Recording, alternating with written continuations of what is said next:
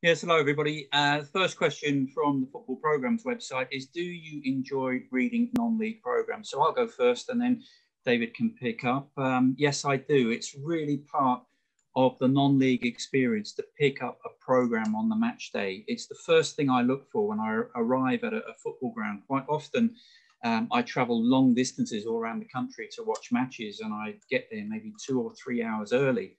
And the first thing I do is go and buy a program uh, so that I don't miss out because I like to keep them for my collection.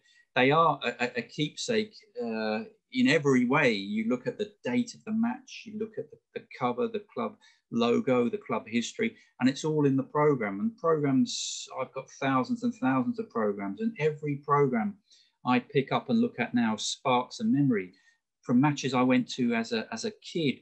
Um, I used to go and watch Hendon Football Club regularly. They were my non-league team when I was a little boy. And um, I look at the old green covers and the date on the cover and the opponents, and I can remember things. I can remember who I went to the match with, if I went with my uncle, if my mum dropped me off outside, if I went with my school friend Johnny. Um, and we used to, to go to Hendon and run around and try and touch the match ball when it was kicked over the, the perimeter barrier, and we used to throw it back. And I can remember all these things from from the programs. And some clubs um, it's a real labor of love. I went to St. Helens Town two or three years ago, and the program was sort of 84 pages, and there were all sorts of historical articles that had been written by different people at the club. And uh, I think non league programs are fantastic, and I, I really do hope that they continue because at the moment, a lot of clubs are going to online versions, which is understandable in the pandemic because people don't want to be picking up pieces of paper and, and passing loose change across. So non-league programs, part and parcel of the game. Even as a kid as well, every club in the Isthmian League that I used to go to would have a club shop and people would congregate an hour before the game at the club shop, swapping programs, buying programs, picking up programs. People used to collect one program of every non-league club, A to Z.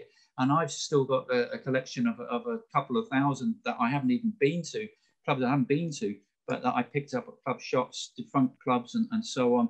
And uh, I think less and less people are collecting non-league programs now, but I hope that non-league programs continue. How do, how do you feel, David? Yeah, good afternoon, everyone. Um, spot on, Tony. Um, excellent answer there. Um, echo all of all of your thoughts um, on non-league programs. Like you say, it's a really staple of of going to football, isn't it? Whatever level um, you go and watch a match at. Um, you touched on it there. It's, it's, a wonderful resource, isn't it, for, for learning more about clubs and history of, of clubs and perhaps what's going on at, at the moment. And you know, you look at uh, even at, at, the top level in the Premier League as, as, a journalist, I suppose, as we both are, you, you, can get wonderful snippets of information that maybe come out of a, of a manager or a, or a player's notes in the program or a chairman or an owner. Um, and, and they're a brilliant resource from that perspective.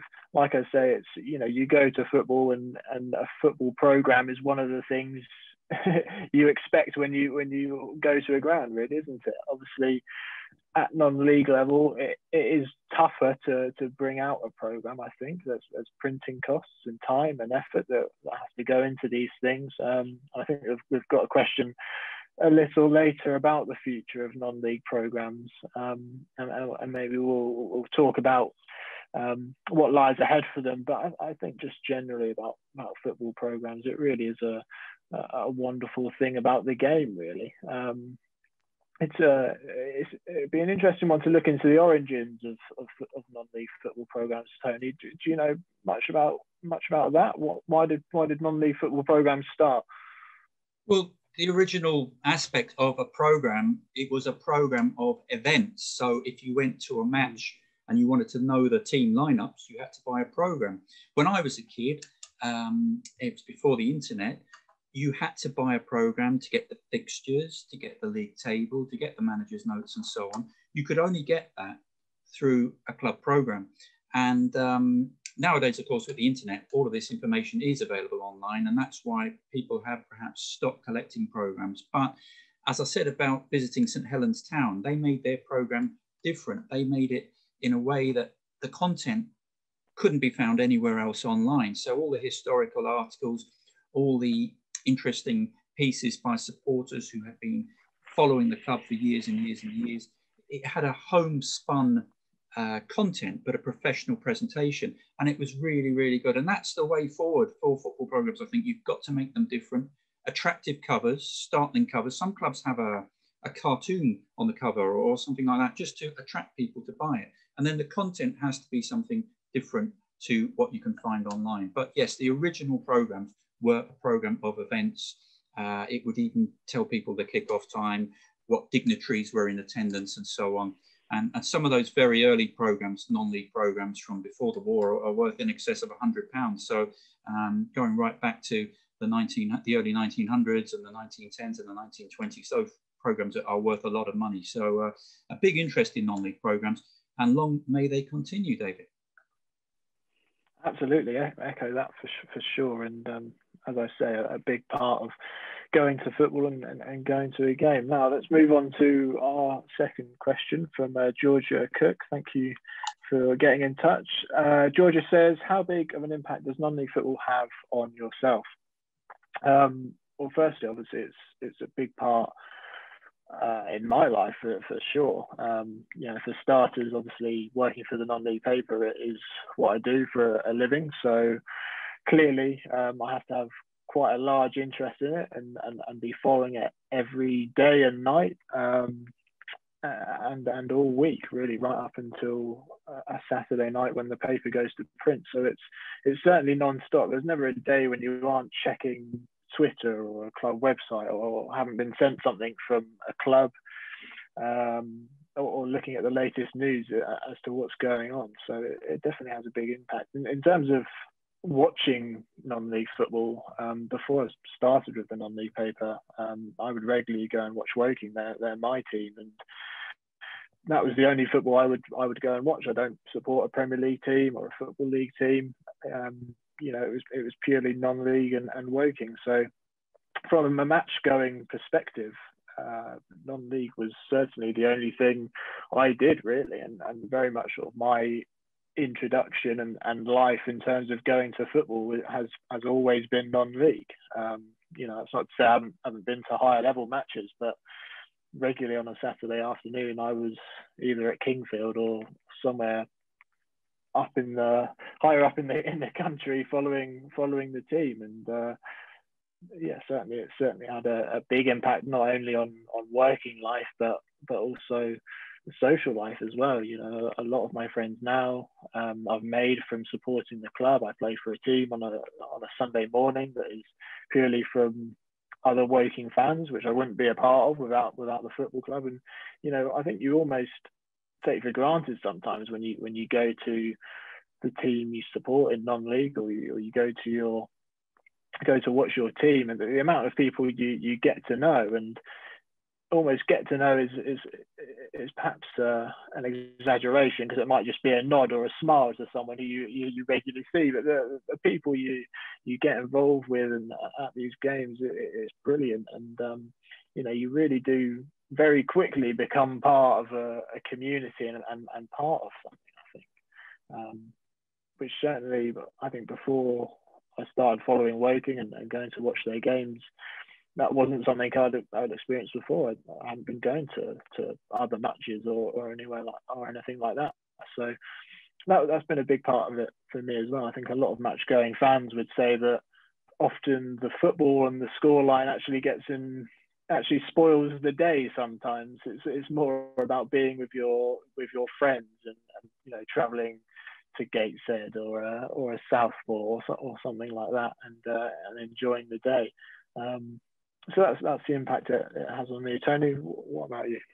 Yeah, some great points there, David, and I would echo all of those. I mean, looking back to when I was a kid and I started going to my local teams, which were Hendon, the old Finchley Football Club, Barnet, when they were pre-football league and Edgware Town and Kingsbury Town.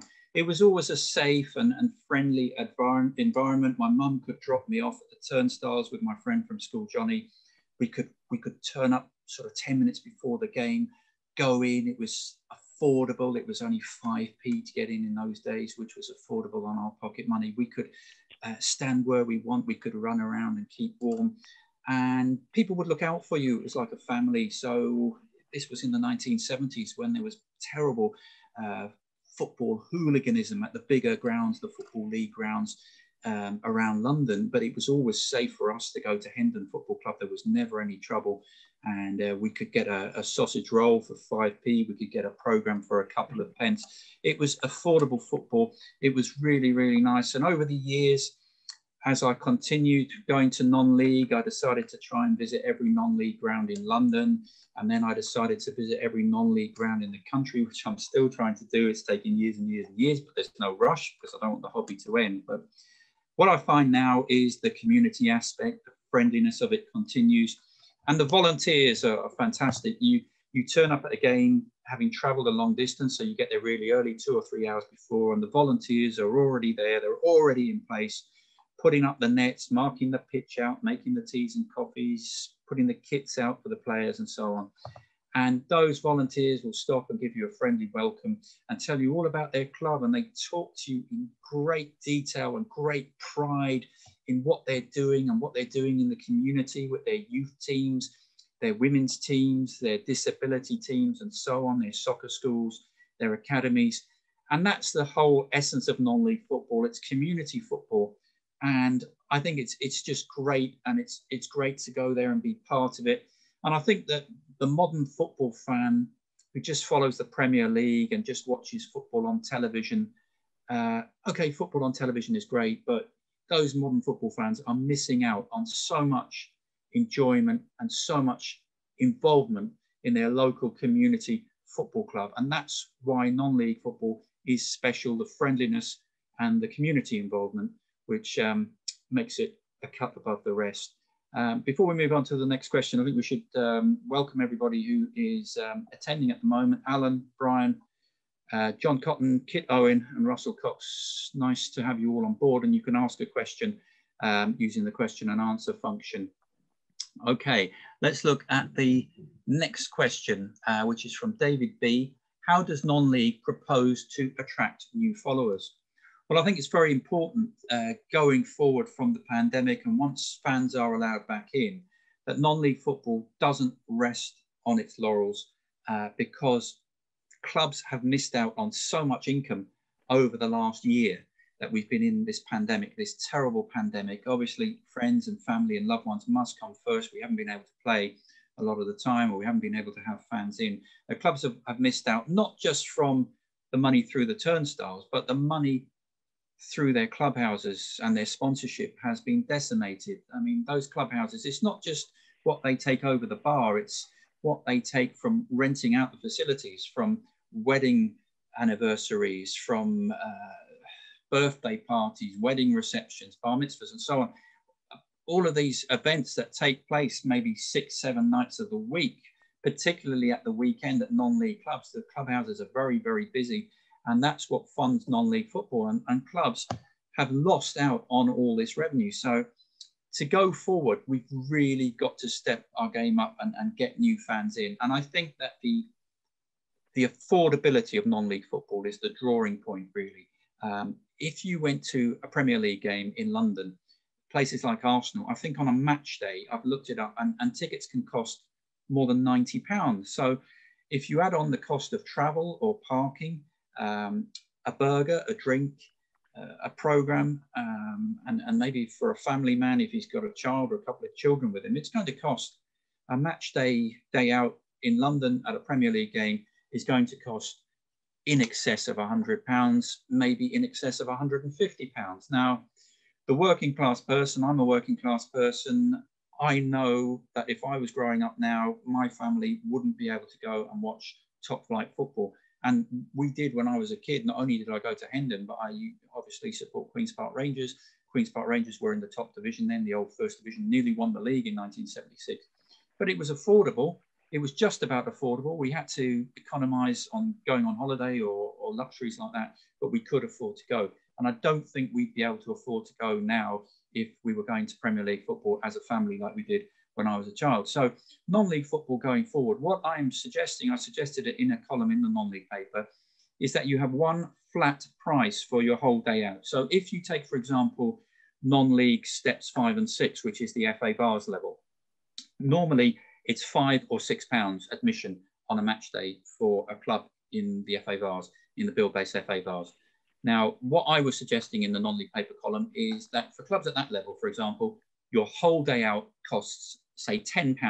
So for £10, you get your admission to the game, you're handed a program, and you're handed a voucher. And that voucher you can take into the clubhouse and get a drink and something to eat. You can get a drink and a burger. So your whole day out costs £10. Your parking is included as well because most non-league clubs you don't have to pay for parking. And so everybody knows how much it's going to cost football for a tenner.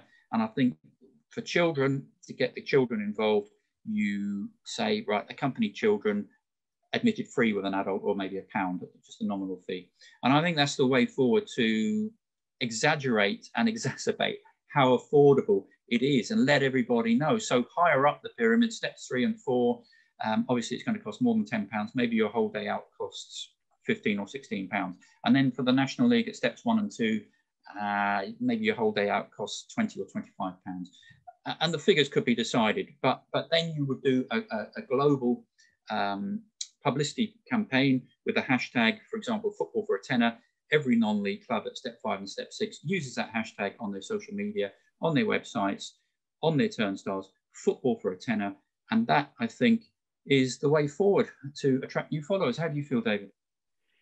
Yeah, you've hit the nail on the head there, Tony. Obviously, the, the big aspect really and, and attraction to, to non-league football is the affordability. And just going back to the, the, the previous question about sort of the impact non-league football has had, and I, I think that is part of it, like like you said, obviously, if you're going to your local non-league club, you're you're probably local, um, so so you'll be home if you're you know if you're a youngster like like I was back in the day, you, you know you're getting home at a, at a reasonable time. Um, it's affordable for you, um, and and you're in a in a an environment that that you know really, I, I suppose, and yeah, I mean, looking looking ahead, the the affordability of it is is the big thing. I mean, I'm hopeful that once we get through the pandemic, we'll see a, a boom in in attendances and a, and a boom for non-league, a little bit like we did in August and October. Obviously, capacities were limited at that time, um, but I felt that people were more inclined to go down to their local non-league club and, and perhaps spend a, a, little bit more on, on you know maybe in, in the clubhouse or or on other on other things. And I, and I hope that will be the case again um, once things get back to normal. Obviously that will be the same for a lot of other industries but I, I really hope that local people will come out to their non-league grounds and I, and I can see that happening. Um, but like you say, I don't think I don't think there's too much more to add really on, on this topic. It is the affordability and, and keeping it simple, like your idea there, Tony, is probably the key. It's it's very marketable, that isn't it? Football for a tenner. Um, it's easy. Everyone knows where they stand. Um, and, and it's just a simple idea, and it's probably maybe just worth adding as well. It's clubs do do things like this. It's you know it's rare that you come across a club that isn't offering um, some sort of entry deal for under 16s or kids go free with an adult or, or something like that. So I think perhaps it is sometimes just looking and, and maybe inquiring before you go as, as to what's going on. But certainly clubs are welcoming in, in these in these offers. Um, and I think that will be the key uh, going forward. But like I say, hopefully, once we're once we're through this, uh, non-league can see a, a boost in, in attendances. Um, anything to add on that, Tony, before we move on? You've also touched on a couple of other good points there. I mean, the um, ease of access is is also a very good plus point for non-league football because if you wanted to go to a Premier League game, you'd have to book tickets. Maybe all the tickets are sold out. It's very, very difficult to park. I know parking around the Tottenham Hotspur Stadium, it's £20 to park in different car parks and so on um, and you're herded in, you have to sit in your seat and so on. Whereas if you go to non-league, you can turn up maybe 10 minutes before, you can park outside, you just go through the turnstiles, you pay money, you go in. You can stand where you want as well. You can move around and chat to anybody. You can sit down in the stand if you want. Uh, you can get a drink and a, and, and, a pie without too much queuing up. You know, there's all this uh, ease of access is another real plus point for non-league football. And of course, the football itself isn't too bad. I've seen some really good games at non-league level, fantastic games, uh, wholehearted commitment, 100% tackling, no rolling around, no play acting. and uh, some exciting football. And the, the, best competitions, of course, are the knockout competitions, the FA Cup, the Buildbase FA Trophy, and in particular the Buildbase FA Vase, my particular favourite because on paper, any team that enters the Buildbase FA Vase, any team has got a chance of getting to Wembley. And we've seen some very small clubs get to Wembley in the past, um, like Rainworth Miners Welfare, Renneth, they're called in the local area. Um, it, it's harder now because the Northern League clubs have dominated over the years, but that has changed a little bit. So um, lots of really good positive aspects of, of supporting your local football club.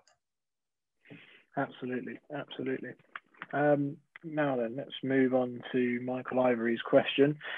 Michael says, I think it's safe to say that every, everything non-league level three and below is done again this year.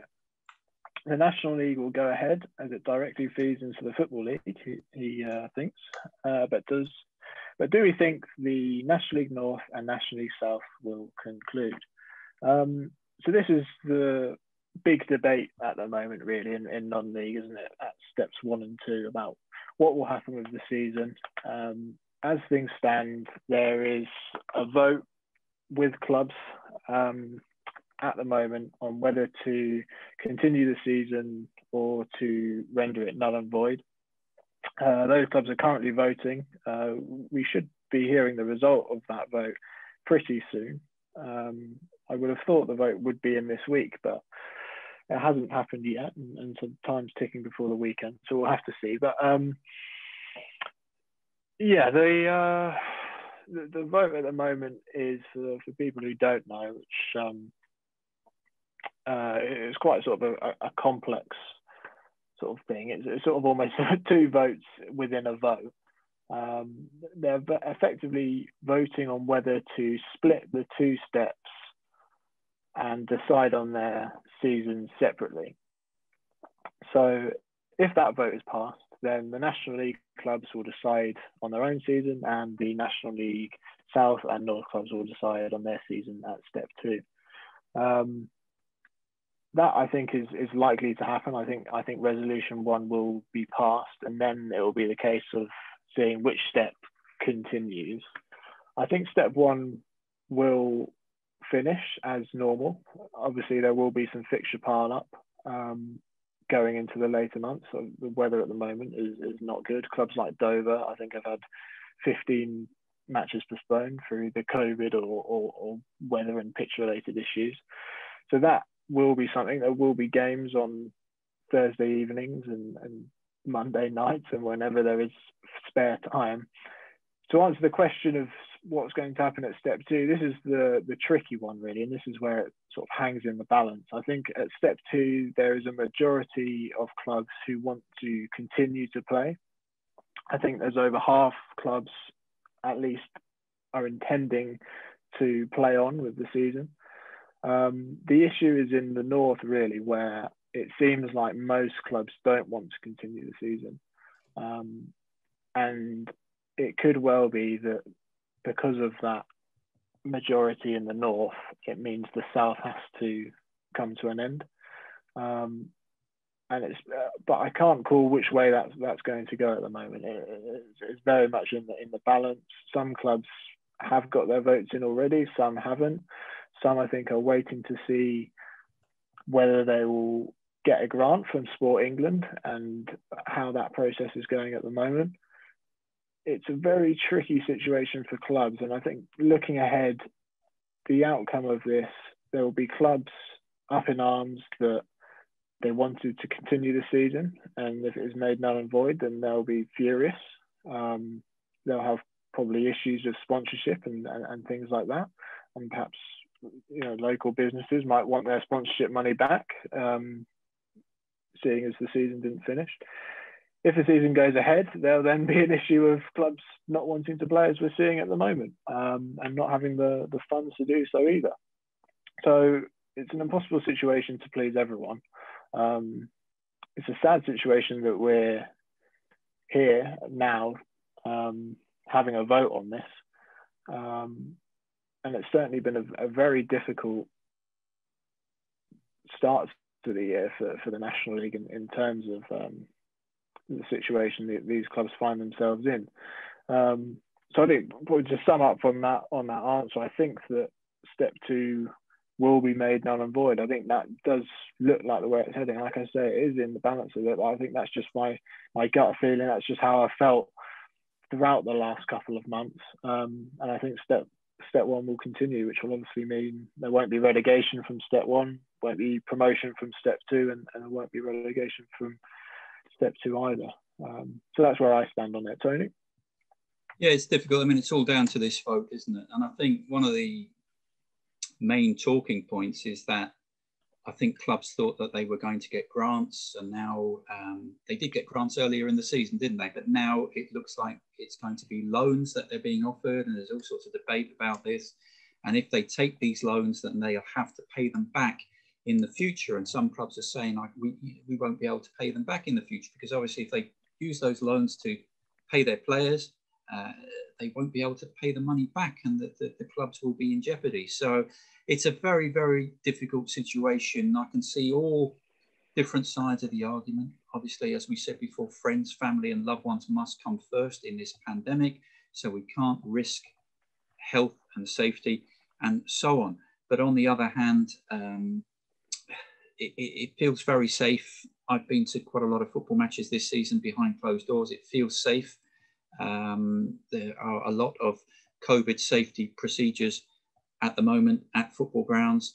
And I think if the lockdown is lifted um, later this month, there's going to be a big announcement by the Prime Minister on the 22nd of February. If the lockdown is lifted, say in March, uh, we could carry on playing. But I can see all sides of the argument. And um, the, the, obviously, as I said, the, the health and safety aspect must come first, but also the future of our football clubs is paramount as well. We don't want to see any clubs in the National League or the National League North and South go into financial difficulties because they've overstretched themselves by taking these these loans. And um, I think that is the case, David, isn't it? There's been a, a, a sort of a, a, big debate about whether or not these would be loans or grants.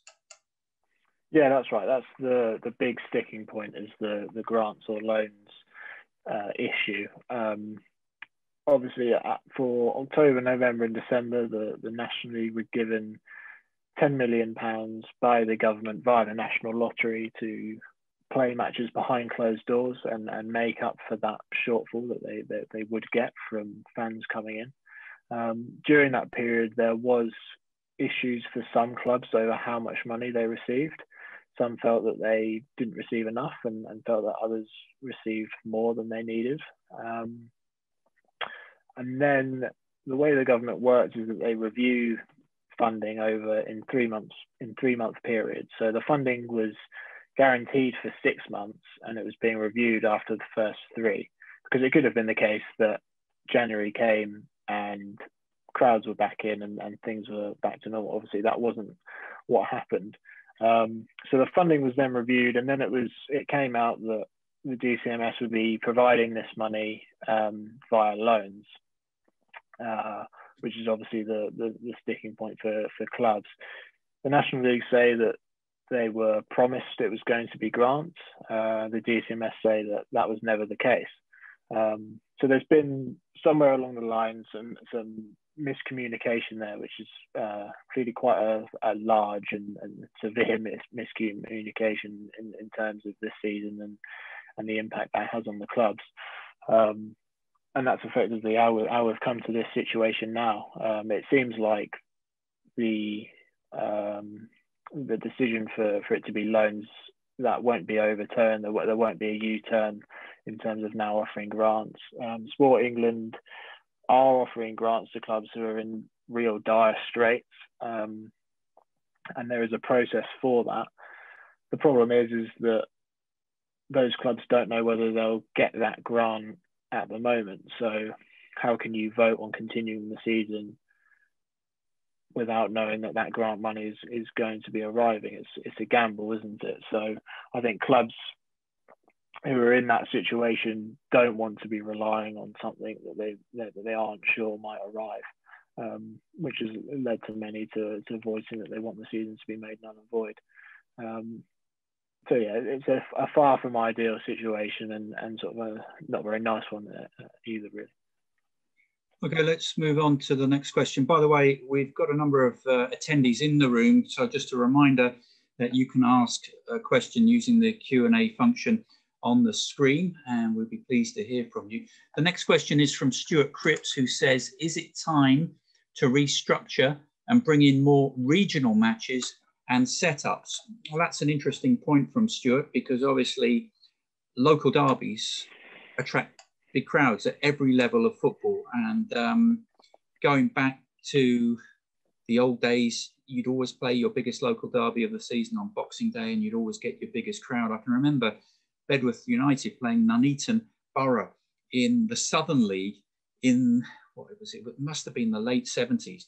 And they had over five and a half thousand there for a Southern League game on Boxing Day. It was incredible. Um, I've, I've even seen, I've gone to certain games at, at step seven, and when there's a local derby, there's many step seven clubs who only normally get two men and a dog. So all of a sudden they'll, they'll get over 100 there. The, the, the best place I think that regionalised football could come in would be um, at the bottom end of the Football League, where League Two at the moment could be split into a League Two North and a League Two South and absorb all the uh, leading clubs from the, the National League and it was uh, it was regionalised until the late 1950s. There was the Football League Division Three North, and there was the Football League Division Three South, all local derbies. And certainly, um, if the National League clubs were absorbed into the Football League, it would make a, a lot of sense. Uh, more local games. And, and so on. Uh, instead of um, a club right down in the south, like um, Exeter having to travel up to Barrow or whatever in, in the Football League, you know, there'd be, there'd be more local derbies. It would be Exeter against, well, it would be Torquay, wouldn't it? Torquay would come in um, from, from the National League if the National League became absorbed into the Football League and, and so on. And um, Barrow could play more local games as well uh, against Gateshead and, and, teams like that. Uh, I certainly think there is an argument for more regionalised football. I think if we're going to make major changes in the football pyramid, maybe now is the time to do it because going forward after the pandemic, we're going to need new ideas, we're going to need new initiatives. Uh, it, it's going to be like the, the period immediately after the, the Second World War where everybody was getting back to normal.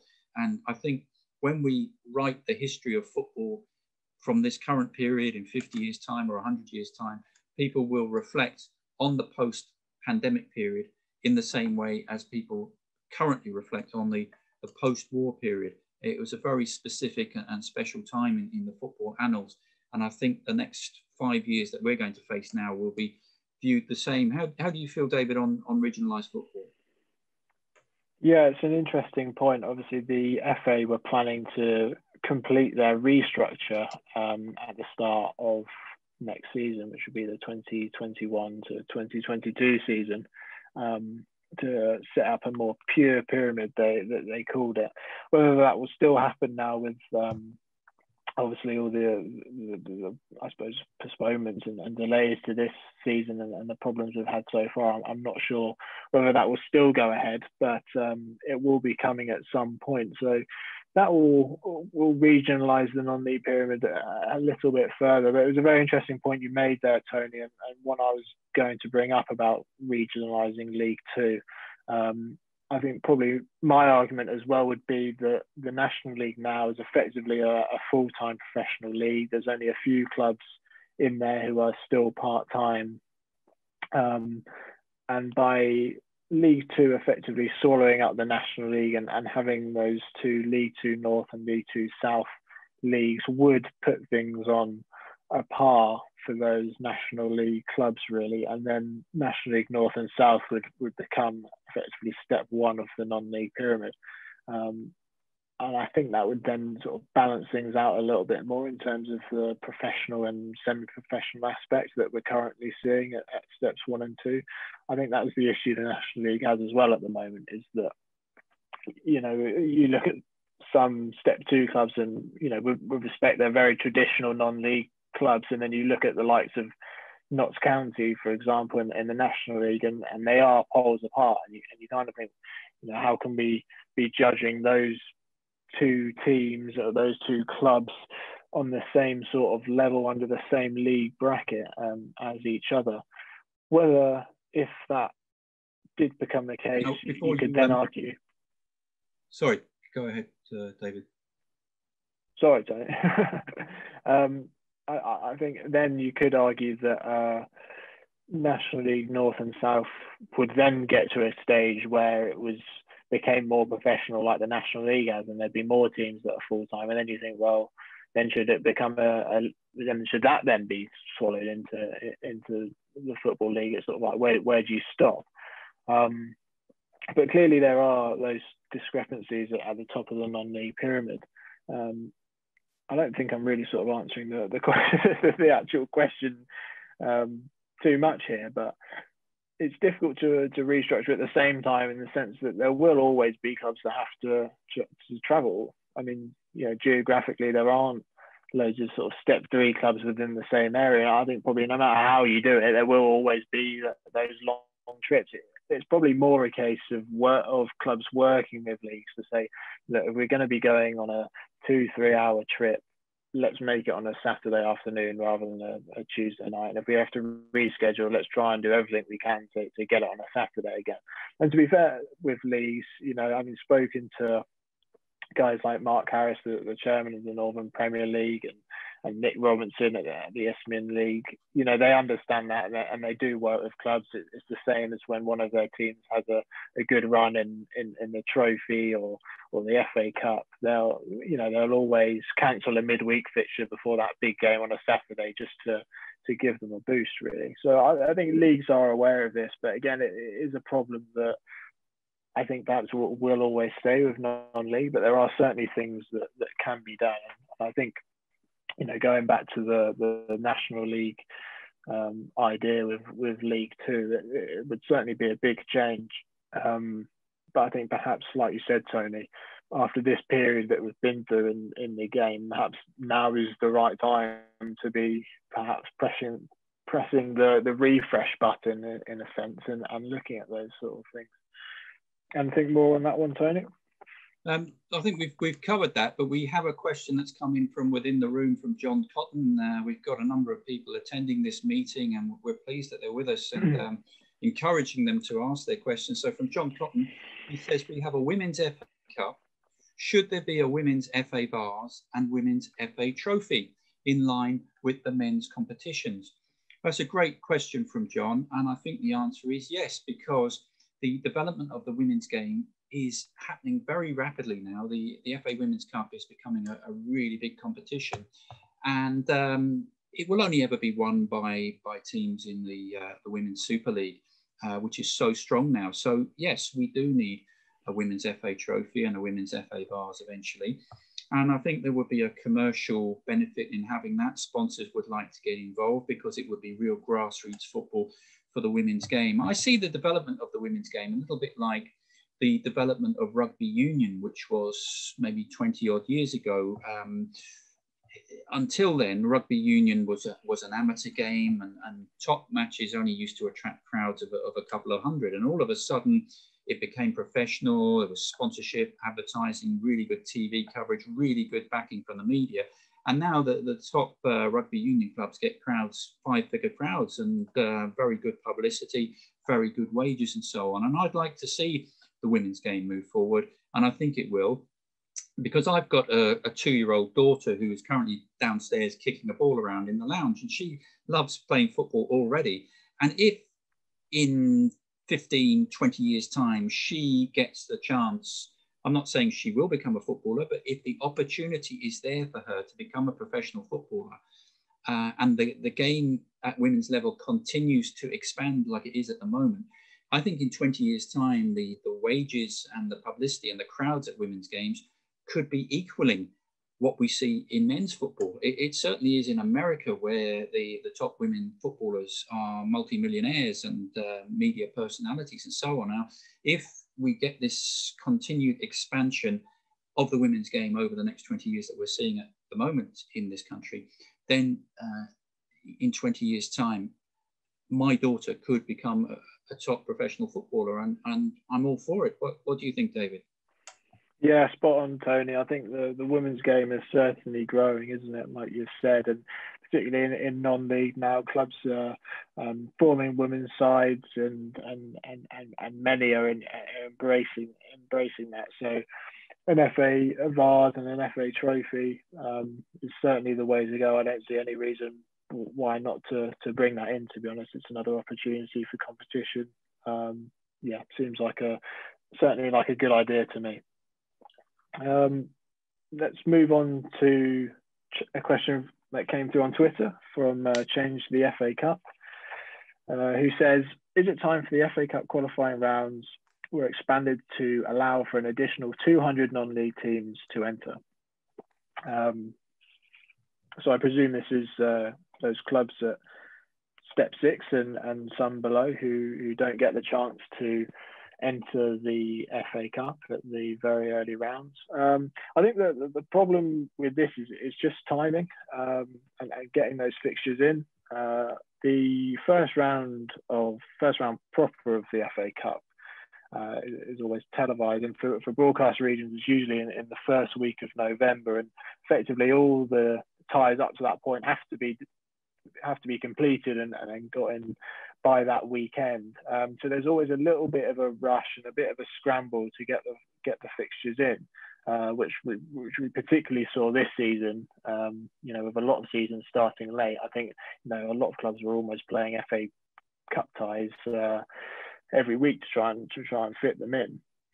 Um, in a regular season, the FA Cup extra preliminary round, I think, starts in, in August, in very early August. I think I remember going to Sutton Common Rovers in an extra preliminary tie last season, um, which was which was might well have been their first game of, of their campaign before their league season had even started.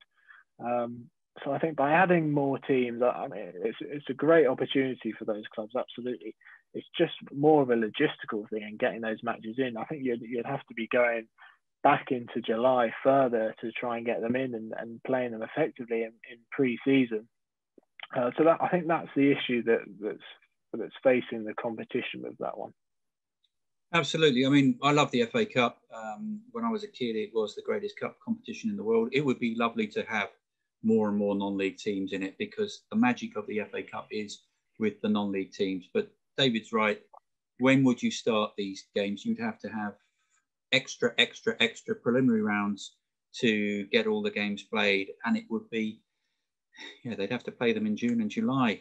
Um, as David said, um, some non-league clubs, the FA Cup is now currently their first game of the season. Is it fair for them to play what is potentially one of the biggest games of their season as their first game of the season when they've not had a competitive game? It's very, very difficult. But looking back, um, when I was a kid, the FA Cup, the, the, magic of the FA Cup is all about the non-league sides. I can remember the great cup runs of of Altrincham, um, some upsets from from Enfield, Blyth Spartans getting all the way through and playing Wrexham in front of 40 odd thousand at St James's Park, Newcastle. Amazing. Uh, Stafford Rangers played one game. They had to switch it to Stoke City's ground. There were 31,000 there. I think Enfield took Barnsley to a replay and that had to be played at White Hart Lane, and there were over 30,000 there. There were huge, huge crowds involving the non-league clubs, and even if you look back to when the famous game when Hereford beat Newcastle, there were 18,000 inside a non-league ground. I mean, that wouldn't be allowed now, but um, great, great memories, and that's why I love the FA Cup so much. And um, yes, even nowadays, it's all about the non-league clubs um, because when the Premier League clubs come in in the third round, they play their reserves and it waters down the, the glory and the, the magic of the FA Cup. Uh, the, once the last non-league club is knocked out of the FA Cup, that's when the magic stops. And uh, we've seen great coverage this season for the non-league clubs in the FA Cup on TV. The, the coverage has really stepped up and it, it's been great. The only thing that I don't like is that as soon as our non-league clubs reach the FA Cup first round and there's a televised game or whatever, all of a sudden they become butchers and bakers and candlestick makers, which we never mention. When we go to see a non league game, we never sit there and think, if I'm watching a game in the Isthmian League or the Northern League, I don't think, oh, there's a builder there and he's just passed to a plumber or whatever. These are all great um, Buildbase trades, and the players should be respected for their commitment because they go out and do a day job and then they they train in the evening or they play a match in the evening and they've come straight from work. Some of them are covered in paint or whatever when they arrive, or they turn up a little bit late looking flustered, and they go out and, and give a magnificent performance on the pitch. And I think that we should respect our part-time non-league footballers, our tradesmen, uh, and, and so on, and respect them rather than just start identifying and patronising them when the FA Cup comes around. Um, let's let's just respect our non-league footballers, and in the FA Cup, they are footballers and they're giving their best, and we should just watch them and think, yes, that's a footballer playing football today. So uh, that, that's my viewpoint on that. Um, right, the next one, uh, number seven from Mr. Up. When did you first fall in love with non-league football? Well, I think I've already touched on this. Um, I think we both have actually, but to recap, because people are joining the room that weren't here at the start. My first memories were at Hendon Football Club at the old Claremont Road in the 1970s. It was the post FA Amateur Cup period, and Hendon had one of the best teams in the country. I can remember the, the, the team, the players, John Swannell in goal, Rod Haider was the captain, Peter Deadman, Alan Phillips, great team, Kieran Summers up front, great, great non-league amateur team. And I fell in love with non-league football because of the reasons we've already said. It was affordable, it was local, it was convenient, and it was a friendly atmosphere where I could go as a 10-year-old uh, with my friend from school, and we could run around and, and, and, and, get involved. And we saw some great games there. And, and Hendon, I mean, people at school used to, to laugh at me because I was going to watch Hendon. Uh, because they were, even in those days, there were armchair Liverpool and Manchester United supporters at school. But all of a sudden, Hendon got through to the third round of the FA Cup, got drawn away to Newcastle, went up to St James's Park and drew the game, one all, in front of a 30,000 crowd at St James's Park which was a big crowd in those days. And Rod Haider scored the equaliser for Hendon, and they they they took Newcastle back for a replay. It was it was played at Vicarage Road. There was a five-figure crowd there. Okay, Hendon lost that game, but all of a sudden, everybody at school was asking me, "Oh, what's it like at Hendon? I see they've drawn Newcastle. They've held Newcastle to a draw." And people were sitting up. And then the next Hendon home game, two or three friends from school who'd never been before all started wanting to come to Hendon. So they were they were great days, and um, great memories, and it set me on a path of of following non-league football all my life. And um, I, I, think, David, you're entrenched in non-league with your, your love of Woking as well. It, it, really is an acquired taste. I mean, I don't think somebody could. Um, it would be very difficult to suddenly start acquiring a knowledge of non-league if you hadn't been brought up in the game as a kid. Although, as I said, we are trying to encourage new people to come along. So, um, yeah, it, it, you, they'd need a, a refresher course or a catch-up course to, to understand the nuances of non-league and to enjoy the game like we do. But um, your early memories were, were, as a youngster as well, weren't they? Yeah, very much so. And I, I think almost what's quite nice about starting uh, at that time, effectively starting to supporting a, a, club is each week you go along and, and you start learning who the players are and you and you start learning the, the names of the left back and the goalkeeper. And um, and then suddenly you you go along to an away game at, at Welling and and all of a sudden you're, you're just having a little chat with the goalkeeper before the game. And, and it's very personable in, in that aspect. And I think that's what I really sort of liked. I liked how easy it was going to a match. You you turn up 15 minutes before you stand where you like um, and then you can get out quickly. You can you can you know you can get into your car quickly. You can get on the the bus home easily um, it, it was all just very easy and, and safe really to go along, and that's still very much the case now, of, course, with non-league. Um, you know, it, really is when you sort of look back on it, it really is sort of uh, a sort of you know great sort of memories and, and sort of almost like a, a, privilege really to be part of sort of a, a club and, and, be part of something and and go along every every weekend. Um, yeah, certainly certainly special you know supporting a, a non-league side and, going to football for for the first time really um, for me I think. Um, let's move on to our football programs. Popular talking point uh, as ever. We uh, answered a question a little bit earlier uh, about non-league programs and there's one here now talking about the future of, of non-league programs which we, which we did touch on a little bit Tony didn't we? But um, I think this is probably the, the sort of other argument really for, for football programs really in, in terms of putting them together the, the costs involved the time involved um, particularly at non-league level and for for volunteers. Um, it, and in the digital age, of course, a lot of clubs move to to online programs, um, and perhaps the benefit of that is that maybe they're they're free, which which is possible. Um, they can be accessed by supporters if who aren't going to matches. Um, but I think the the future of football programs perhaps is a little bit like the future of newspapers in, in the sense that it is a little bit of a dying breed and a little bit of a dying industry. Um, and it is all moving a little bit towards online and, the digital age. But I think there is always a place for them. Um, and I think there is still that love for people of going to a game and, and picking up a hard copy of a, of a program, going to a newsagent on a, on a Sunday morning and, and picking up a hard copy of a paper. I think there is still demand for it.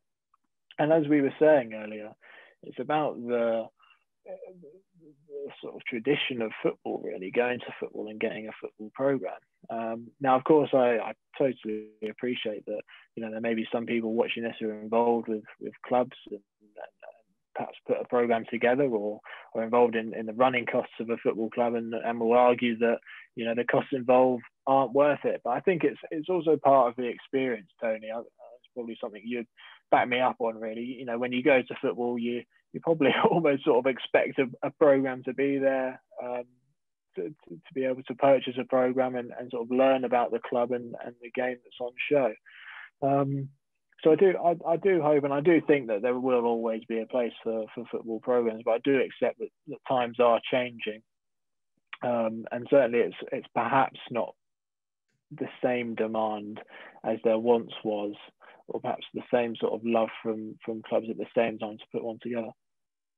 Yeah, I see the, the arguments. I mean, particularly at the moment during the pandemic, um, a lot of clubs have gone to an online program because uh, you don't want to be handling loose change, you don't want to be handling pieces of paper, uh, and, and, and, so on because of the risks involved.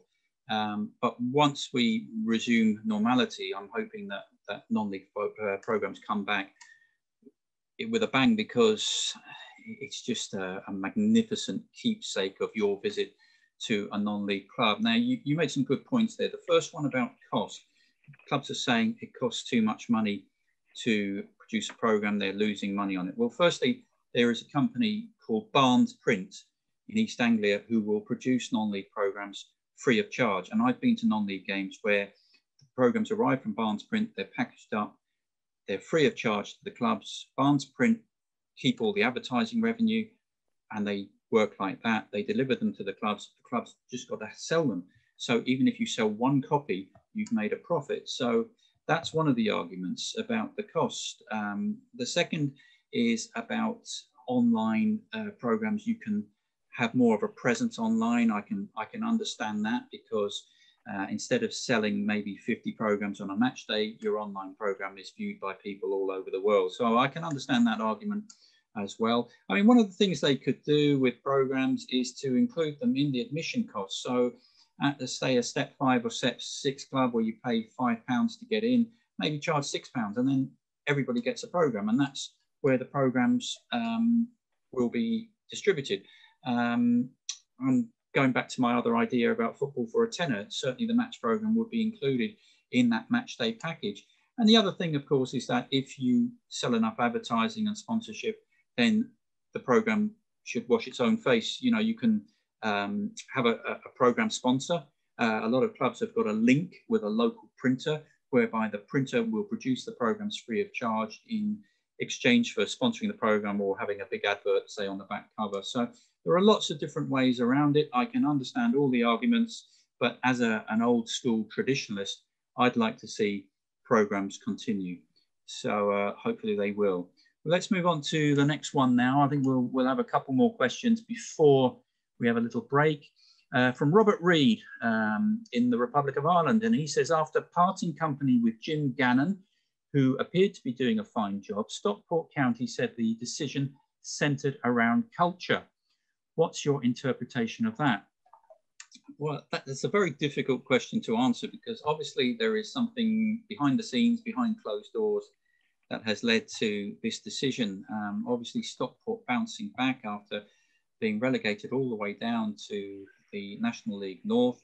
coming back into the National League. And I think they were placed quite high in the National League when they parted company with Jim Gannon, who uh, is a real good Stockport County man and a real character as well. I've interviewed him in the past and he's very, very passionate. And Stockport are, are, are a great club. Uh, I can remember them in the early part of this century, what, 2001, 2002, they were in what is now the equivalent of the championship. So uh, I remember one season uh, they were in the same division as Manchester City, and they gave Manchester City a couple of good games that season. And, and at uh, Edgeley Park, there was a huge crowd uh, when they played against um, Manchester City that season, which I think was 2001, 2002.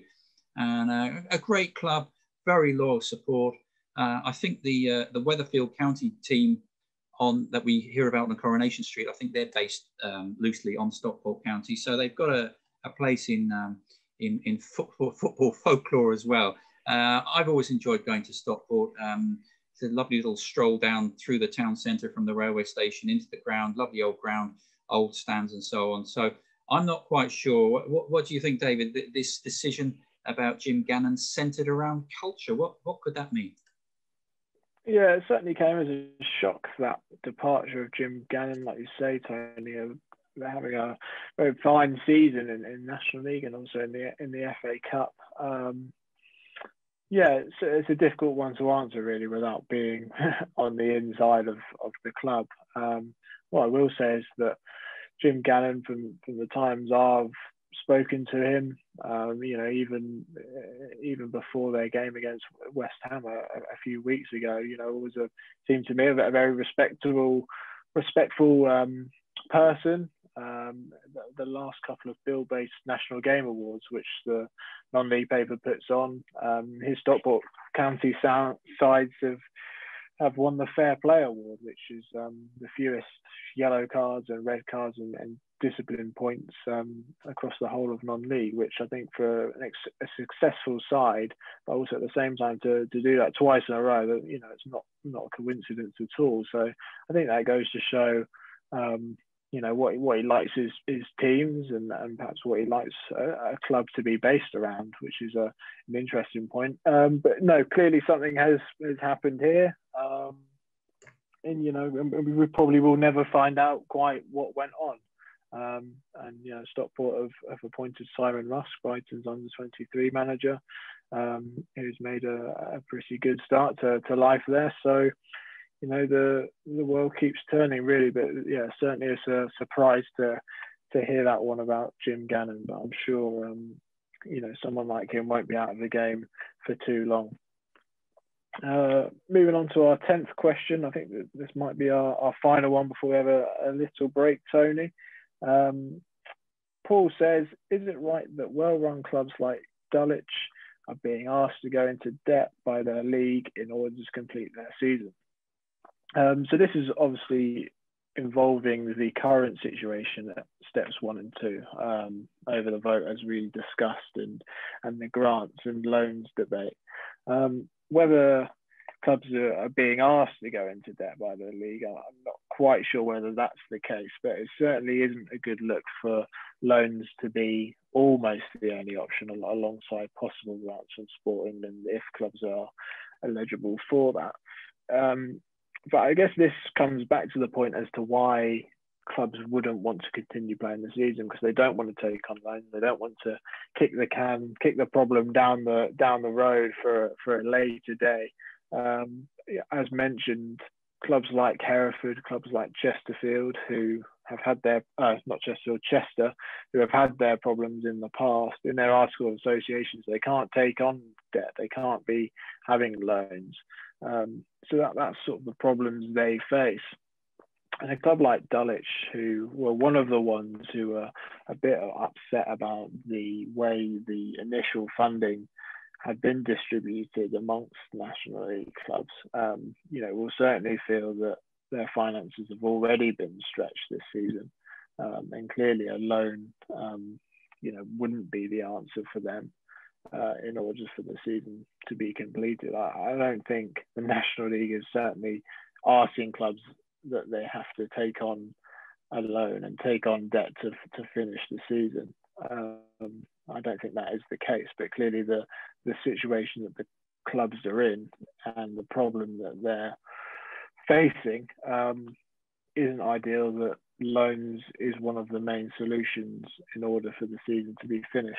Um, so again, a, a, very tricky situation. Um, and like we said, one we, we covered a little bit earlier in, in this chat. But Tony, is there anything more to add on on the loans and grants debate?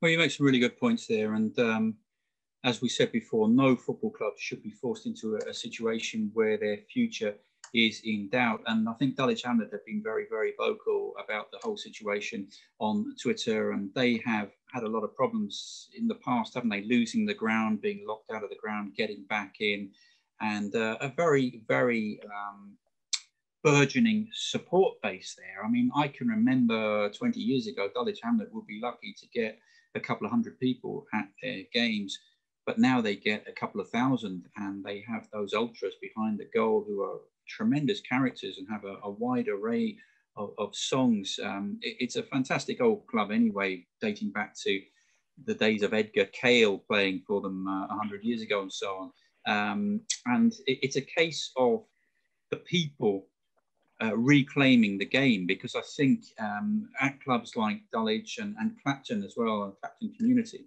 uh, they've suddenly started attracting much bigger crowds and these ultras coming along because people see it as an affordable day out, as a as a social day out, and they're really enjoying it. And it's uh, it, it's really nice to see the people reclaiming the game at non-league level. And there are other clubs around the, the country, West Didsbury, up in the Manchester area, and so on with ultras.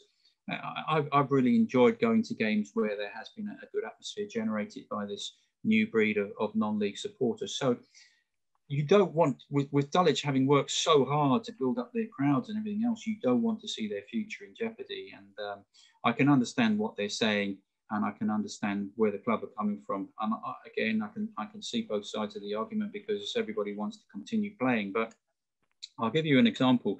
Uh, one of my early involvements in football was with a now defunct club in South London, just down the road from Dulwich Hamlet, called Fisher Athletic, who um, folded and went bust two or three times. And when some money came in, the money would be spent straight away. Uh, whenever they got any money from anywhere, it would be spent straight away, and it was normally spent on players. And um, money would be coming in, money would be going out straight away. They wouldn't pay uh, bills straight away because they were paying their players and so on.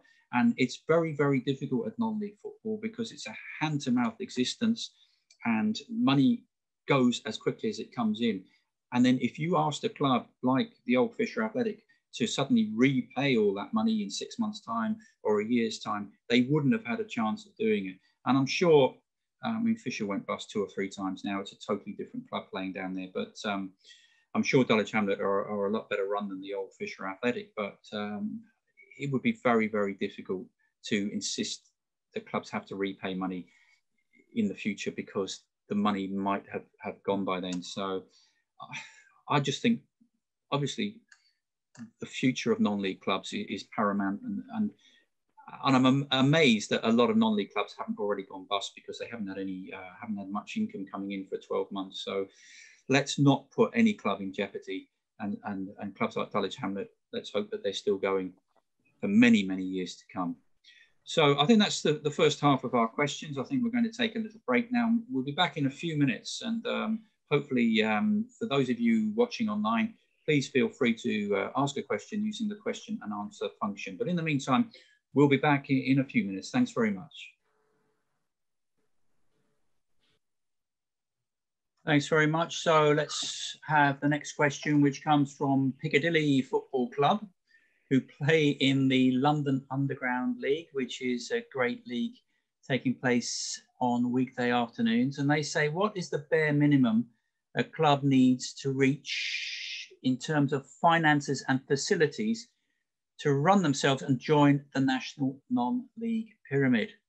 So I'll start with that one. And um, what you need to join the national pyramid at step six is an enclosed ground, with floodlights, a railed off pitch, with a stand and some covered uh, accommodation. I think 50 seats and, and, 50 cover is the basic minimum at step six and floodlights. And uh, I think clubs coming up from what has previously been called Step 7 have been given uh, a year's grace um, to get their facilities up to scratch, and most of them have managed to do that. Um, it's very, very difficult because the cost of floodlights in particular is a lot for a community football club. I think it's around about £60,000 these days. And I think um, there are grants available. Obviously, the Football Foundation are really, really good at ploughing money in. But a lot of clubs who come up to step six end up ground sharing because they can't build a non-league ground from scratch. They normally play on park pitches or recreation grounds. And it's been very, very difficult for them to create a step six ground, although it can be done. There's a team in Kent called Glebe Football Club who did build a non-league ground from scratch. They took over a football pitch, I think, as part of a defunct rugby club, and they suddenly enclosed it with wooden fencing. They they installed a stand. They installed um, a rail around the pitch, hard standing as well. That's another aspect that's needed, as well as obviously the uh, the dressing rooms have to have a certain number of shower facilities and so on, and the referees' changing room has to be a certain size and dimension. Uh, a lot of things have to be done to get to senior football at step six and, and move up through the pyramid. It is a lot of money and very, very difficult for clubs. But those who do achieve the ground grading requirements then have those facilities for life and can move forward to move up to step five. You might have to add an extra 50 seats and so on. And to keep moving up, you have to improve the facilities all the way along. I mean, a billionaire could buy a piece of land uh, a field and suddenly start creating his own football team and start enclosing the ground and start putting stands up and could progress all the way from park football and win promotion every year. It cost a lot of money in terms of players once you start climbing the pyramid, but it, it is possible. And they could reach the Premier League if they built up a stadium that became bigger and bigger along the way. Um, it, it's very difficult, though. It's going to cost a lot of money. Um, what do you feel, David? Yeah, it's a difficult one making that transition into semi-professional football. I, I did a piece with uh, Golcar United, um, who are currently in, who have recently joined Step Six. Have you been up there yet, Tony? No, it's on my list. Um, I have um, 50 clubs still to visit at Step uh, Six and uh, five at Step Five, and Golcar up in the uh, I think they're in the Huddersfield area, aren't they? Around about that area. Um, certainly on my list of clubs to visit and um, they've been in touch, they've reached out and said you're always welcome, and they seem a very good uh, community club going forward. Um, so yeah, it's one to visit, David. Yeah, absolutely. I, yeah, I did a piece with them um, not too long ago, and I was just sort of talking to their manager about how they were able to join the pyramid basically and all and all sort of the, the, the, things they had to do. Had to do quite a lot of work on on their ground there, but um, they, they certainly have the ambition. But it did it was sort of a little bit of an eye opener really as to what clubs have to do. Um, but like you say, Tony, there are resources out there for, for clubs to use in, in terms of getting that funding. And um, I think perhaps ground grading gets a little bit of a, a reputation, maybe, a bad reputation perhaps for you know in, enforcing these sort of changes onto clubs but i think it's necessary for the pyramid. Um, you know I, I, think it is it helps raise standards uh, across the board. If there wasn't ground grading you know the extra money would be spent on a centre forward in, instead of a, a new terrace or a, or a new stand which um, you know will last much longer than than, than a player signing um, and it, yeah, like I said, it, it, raises standards across the board. Um, and ultimately, if these things are in place and if you enjoy going to a non-league ground where the terrace isn't crumbling from beneath your feet, you're, you're going to want to go back. And I think that's what clubs should aim for. Um, you know, you do speak to chairman. I always remember Mark Harris, the, the chairman of the Northern Premier League, said to me once. He said, um, "No, I always say to my clubs, get your ground sorted first and then focus about what's going on with your team. Because once your ground's in place, you'll have that for X amount of years and you can play at the level and you can then come and, and be sustainable on the pitch. And I think he, he's spot on with that. Um, but clearly, yeah, it's a yeah, it's a it's a, a jump certainly to to join the non-league pyramid. But um, I always look at the ones that do, and, and the Golcar one certainly sticks out in my mind as a, as a club who are, who are really enjoying that challenge and, and really enjoying trying to um, improve their ground and, and club. Um, so yeah, that's that's my my feelings on that one. Um, our friend Mr. Up has, has been back in touch with our next question, saying, should the non-league season continue during the current pandemic?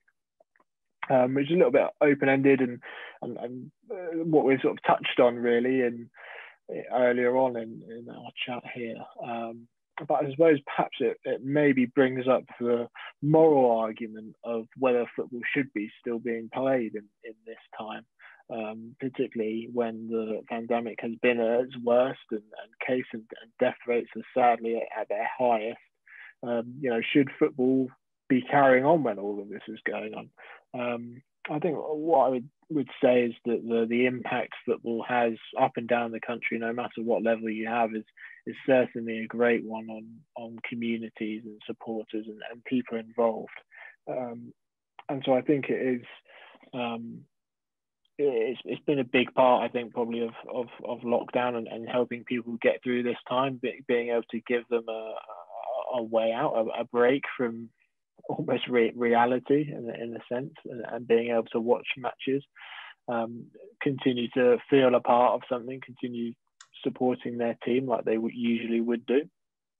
Um, you know whether this is ref- this question is, is, sort of referring to the current situation at steps one and two, um, clearly, that's up for the up for the clubs to decide, and, and obviously there's a similar situation at the moment um, at step three and below in terms of what will happen with their season. I think clearly for those levels, the Isthmian League, Northern Premier, uh, and Southern League, they've, they've, been very forthright the league in, in, saying they wouldn't be playing matches without crowds because simply it's it's not sustainable. Um, they've gone a little bit further in, in that aspect in saying that um, they wouldn't restart either whether uh, the secondary spend was in place, so clubhouses were allowed to be open, bars, etc.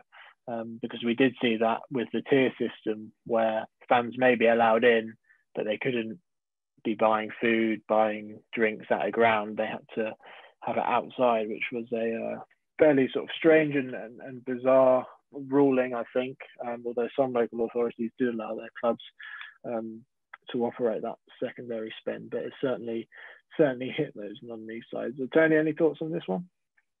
Yeah, I mean, we, we've touched on steps one and two, haven't we? The National League and the National League North, and we've discussed that. Steps three to step six, uh, there is money available. They're going to get grants. Um, I think at step three, it's going to be £25,000 and so on.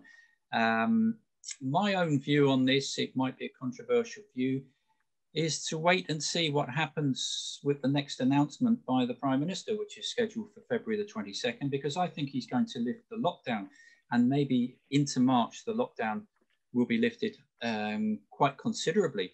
Most of the really vulnerable people have already been vaccinated. I think 80% now of the over 70s and so on. And uh, in another month's time, maybe all the over 60s will have been vaccinated, and the death rate and the infection rate might be very, very much lower than it is now. So, could we restart the season in March or maybe in April? That would mean that the clubs would have to play through the summer, which wouldn't be a bad thing um, if they could if they could organise it. So maybe we could play. I mean, there'd be a massive catch up, particularly leagues like the Northwest Counties League, where they've hardly played any fixtures. But if we played through April, May, June, and July, and then had the close season in August and restarted next season in the middle of September, I think that would work and we'd have summer football, um, which they've tried in other countries. You know, they've tried it in the Republic of Ireland and it's been a real success because there are nice summer days where you can go out and have a drink and, and watch your local football team. And um, kids can go along and so on. You don't have to stand in the freezing cold there has been an argument when I put this forward on Twitter. There has been an argument. Oh, what about cricket? What about the clubs that share with cricket? Well, I think there are only probably in the whole of the non-league top six tiers, probably only a half a dozen clubs that actually uh, share with cricket. I can I can think of teams like Stourbridge, Leighton, Hoddesdon. It's no more.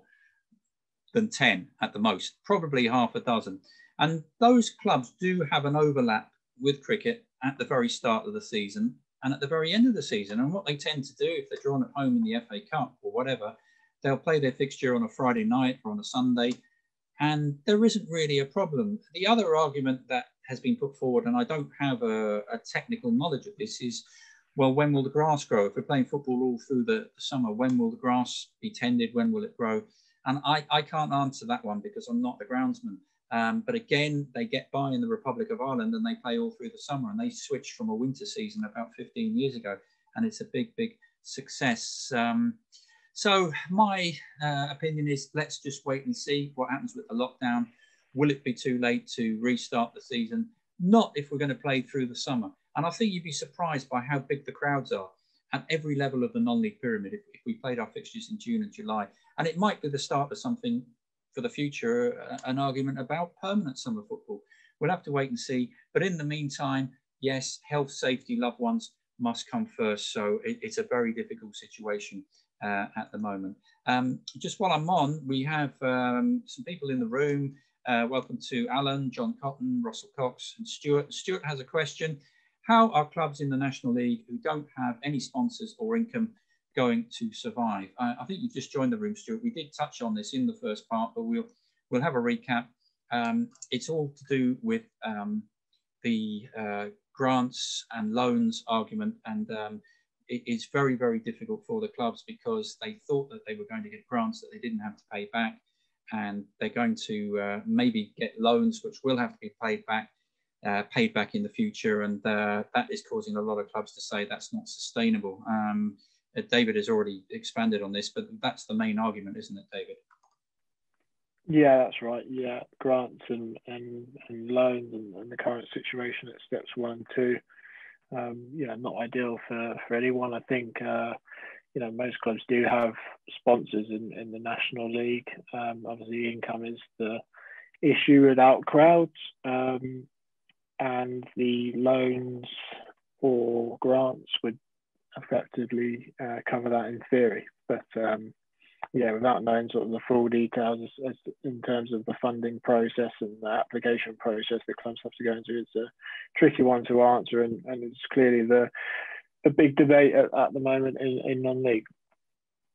Thanks, David. And uh, anybody else in the room who'd like to ask a question, please use the Q and A function at the bottom of the page. The next question is from Wythenshawe Amateurs Football Club of the Northwest Counties League, a two-part question. Should all step six and above clubs be automatically entered into the FA Cup, given the time, effort and expense clubs go to in order to reach that level? And should the FA Amateur Cup be reintroduced for feeder league clubs and below? Well, two parts. Firstly, I think we've already um, answered about the FA Cup. It would be great to have more and more non-league clubs involved, but it's just a question of when do you play these extra, extra, extra preliminary rounds that have to be played all through the summer, and it's very, very difficult. The uh, first round, as David was saying, has to be played at a time when the television coverage is uh, in place, and then the third round of the FA Cup has to be played in January. So it, it would be very difficult. It'd be great to get more non-league clubs involved in the FA Cup. Um, I personally, you know, like to see some of the very early past winners allowed back into the FA Cup. They wouldn't have the facilities, but they would have a, a, a great pedigree and history. The old Carthusians and the old Etonians who still play in the Arthurian League, Clapham Wanderers who reached the FA Cup final in the 1880s. They still play at a low level of football in uh, Surrey. It's a reformed club. And the original Wanderers have reformed and play in the old checkered shirts as well. Um, it'd be great to see them all invited back in as a one off. Um, uh, but, but when you play these extra, extra, extra preliminary rounds, I, I don't know. Um, the other thing is, should the FA Amateur Cup be reintroduced for feeder league clubs and below? Well, this is interesting, and this is um, a, subject I've thought about in the past. We have the Buildbase FA Trophy and we have the Buildbase FA Vase.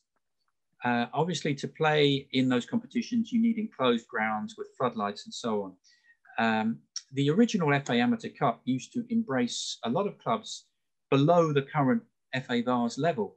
There were teams like City of Norwich Old Boys Union who played in the um, FA Amateur Cup, and indeed, I think they played in the uh, the early years of the the uh, FA Vase before it became all floodlit. I can remember clubs from the Amateur Football Association playing in national competitions. East Barnet Old Grammarians Q Association, I can remember playing in the um, in the FA Amateur Cup and, and then in the early FA uh, Vase as well. Um, and there were some good results from those clubs because um, at very low uh, levels of, of the non-league pyramid and in um, in amateur football, alliance football, a lot of players um, are of a good standard. They don't want to join a semi-professional non-league club and, and have to travel halfway across the southeast of England to play a match for 50 pounds on a Saturday and then get back late in the evening, eight, nine o'clock, uh, when they've got young families and so on. They prefer to play with their mates in a, in a team in the Southern Amateur League or the Amateur Football Combination and get home at six o'clock on a Saturday because all the games are fairly local. And a lot of these guys as well at that level have got good jobs. They work in banks and so on. They don't need to play for a semi-pro non-league team at step six for 50 quid. Uh, they just want to play with their friends and, and have a drink after the game and go home. So some of these teams at a low level are of a very good standard. And it would be nice to see them playing on a national stage. Now, obviously, the Buildbase FA Vase, which goes down to step six and well, it's, it's, step five and step six and some step 17. It's all floodlit, it's all enclosed grounds. So could we actually have, and this is this is something I've been thinking about, could we actually have a competition below the Buildbase FA Vase? How about an FA Urn, for example, um, where teams at well step seven and below really uh, play on a national stage um, you could have it as part of non-league finals day. The final could be at Wembley, and there could be a lot of interest. It, it, it's food for thought, and it's something I'd like to see. Um, I think we've got the Capital uh, Counties Trophy, haven't we, in the London area at the moment for Step Seven and below, which I think when that first started, that was going to become like a national competition. It's still based around the southeast, but yeah, I'd like to see. So I, I, I, don't think it would be called the FA Amateur Cup anymore because there's no amateur football. People are just footballers now. That was the distinction that was abolished when the FA Amateur Cup stopped and the, the Buildbase FA Trophy and the Buildbase FA Vase took over. But yes, I think, David, I don't know how you feel, but I'd like to see another national competition below for step seven and below uh, with all the really small teams taking part. Yeah, spot on, Tony. I'm not actually sure whether there's much I can add on that. I think you've I think you've nailed it there. Um, I think all it will take is just someone in a, an administrative role somewhere to, to just sort of step up and, and try and push that forward, really. But um, no, I, I, think you're right with, with everything you've, you've said there. So, um, yeah, on, on to the next question, I think, uh, which is from Ramsgate FC, who say many clubs have an aging fan base and associated volunteers how vital is it to attract the younger crowd away from EFL and Premier League in order to ensure essential and often unnoticed tasks are carried out by the future generations? Um, yeah, it's it's crucial that non-league attracts a younger audience, and I think, in fairness, from my experience over recent years, when you go to games, there are uh, young people there, and, and they and they really do get behind um, their club. It's almost sort of the atmosphere is, is generated really by a, by a younger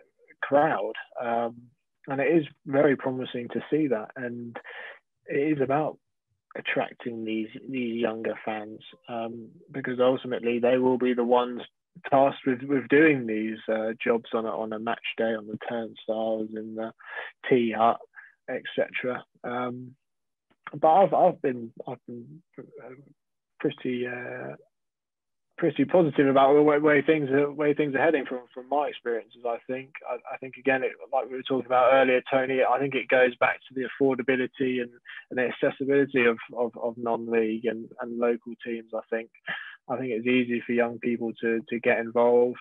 Um, don't know how, how much I should be saying it, but perhaps gives them a little bit more freedom on, on a match day. Um, to, to, to get up to one, to one or two things and, and, and perhaps enjoy it a, a, little bit more in, in that aspect. But no, I, I certainly see um, non-league very much attracting a, a, younger audience, and I, and I, think for the ones I've seen, they certainly seem to enjoy going to, to matches, and, and that's great to see. So that's certainly how I felt when I when I first started going to non-league games. Tony, what what about you? You make some good points, and I've had a lot of youngsters reaching out to me on Twitter who are volunteers, mainly on the media side for non-league clubs. Because if I was a youngster now and I wanted to get into the media, um, a good way to do this is to approach your local non-league club and get involved on the press side of things. So write match reports for the program, get involved with the website, with the Twitter, help with the match day commentary because a lot of clubs at the moment are doing live feeds and so on. And it's a really good way of getting involved in the world of journalism, getting to meet other more experienced journalists and, and get involved and uh, play your part in the local community. You know, it's a yeah. Great... That, I mean, that's that's how. Sorry, Tony. Sorry to jump in there, but that's how, that's how I started with, with Woking. Actually, um, you know, I volunteered to to write match reports for their website.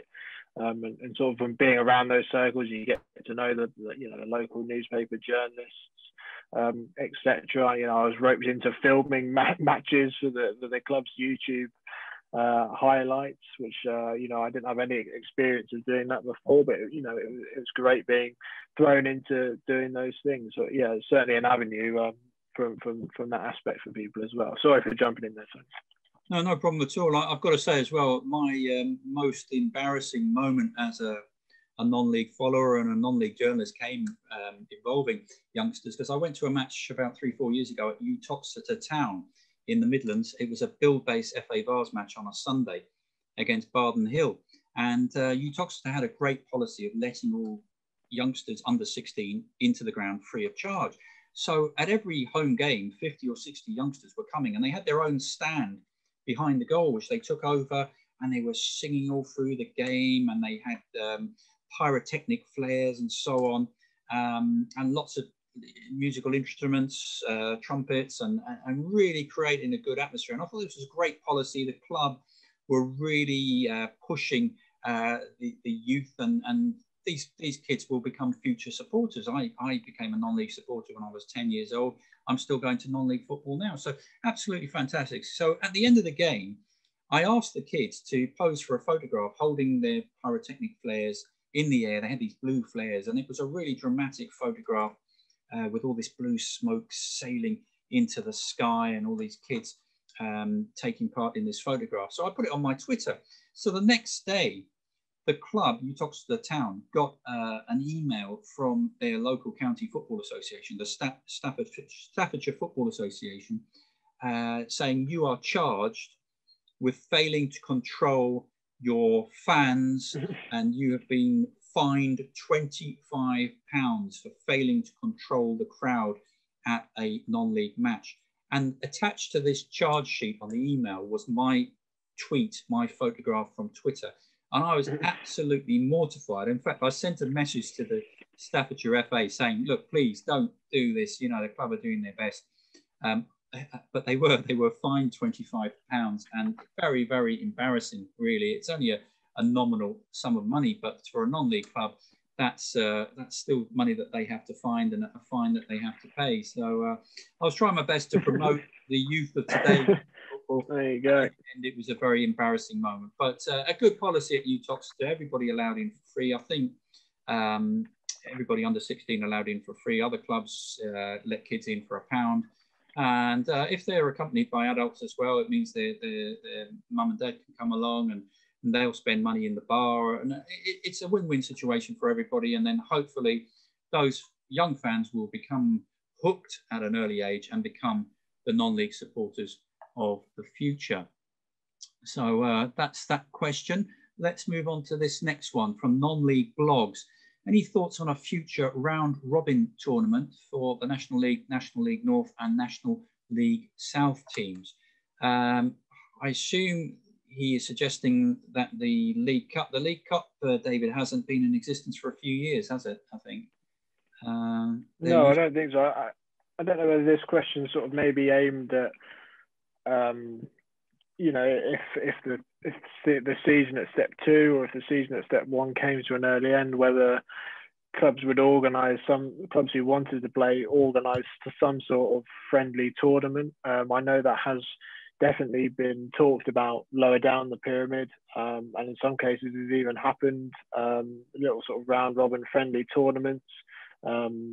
You know, providing clubs are happy to to play and, and, and things like that, which you know I certainly think is is you know is a good idea, providing everything's uh, everything's okay and, and and the clubs want to do that. Um, you know, it, it, could certainly be a, a, situation where steps three and four won't have played from probably the end of October, October 31st, start of November.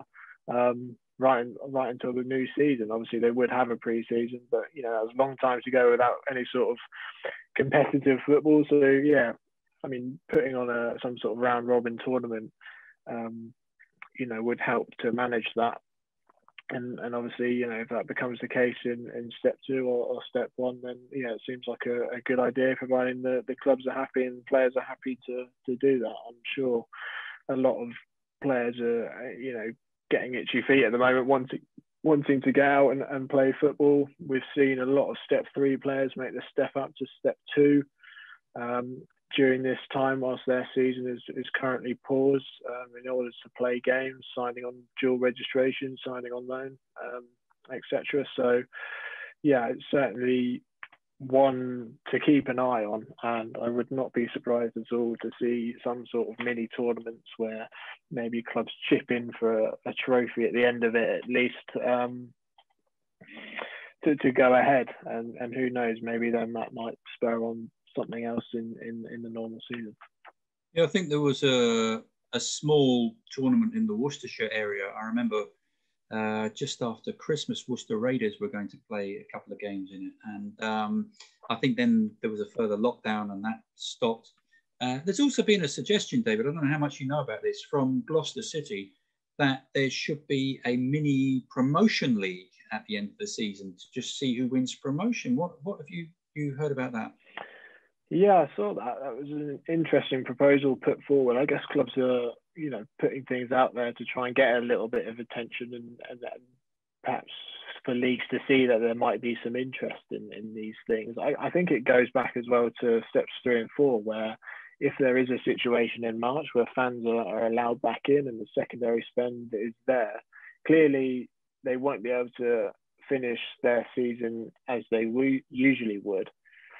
So they might have to come up with a, a different way of completing the season, which might be splitting the league in half or sort of regionalising the league and, and playing games that way and then having some sort of grand final at the end of it. Um, so these are the, the different scenarios, I suppose, that, that could happen if leagues and, and administrators are, are prepared to think outside the box a little bit. And I think that is, I think probably at this moment in time, it, it is something that leagues should should be thinking about and perhaps gauging some some sort of interest um, among their clubs about it.